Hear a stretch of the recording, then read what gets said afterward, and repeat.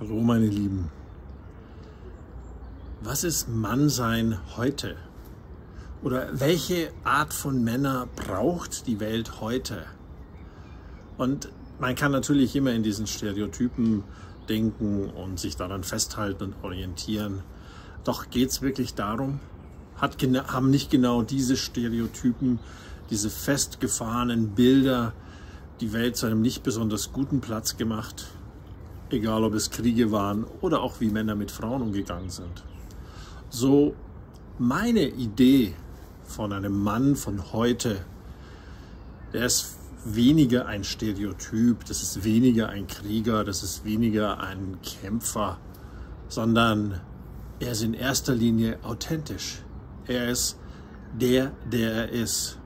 Und wenn dieser Mann aus seinem Herzen heraus handelt, kann es keinen schöneren und besseren Mann geben.